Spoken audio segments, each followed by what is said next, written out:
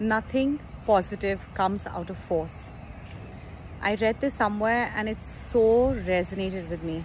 When we're pushing for an outcome, when we're so attached that our child has to finish that guitar class no matter what, when we're pushing for your child to do a certain language, even though they've zero interest in it, when you're pushing for that child to get that task done because they have to, because you have envisioned it in your mind and you think it'll be good for them, nothing good can come out of it.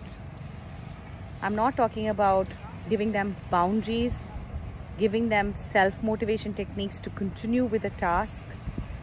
I'm not asking you to chicken out of things because it's uncomfortable, but I'm saying be very kind and aware when you're using force to get your child to do something because nothing good can really come out from being forced. I'm sure you face that in your own childhood.